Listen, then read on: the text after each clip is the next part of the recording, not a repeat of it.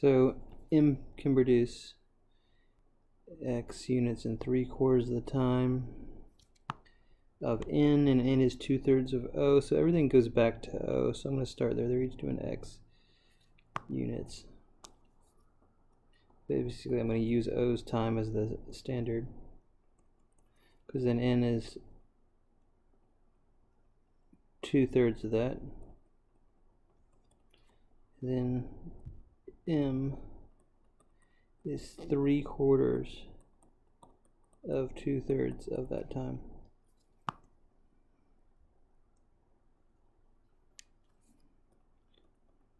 It's t over 2. Okay, so I need to solve for each rate.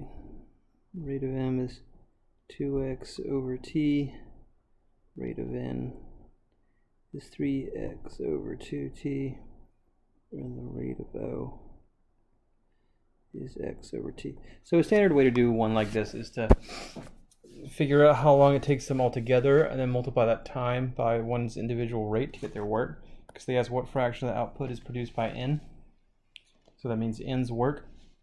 Uh, so you find the time it takes to do the whole job and then multiply it by n's rate. One shortcut you can do, I don't like a lot of shortcuts, but one shortcut you can do when they ask what fraction of the job one does is you can put their rate over the total rate.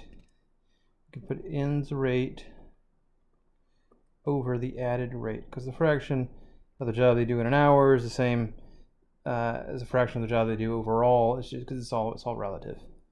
So this is adding all the rates together. Okay, we need 2t as a common denominator. So that's going to be 9x over 2t.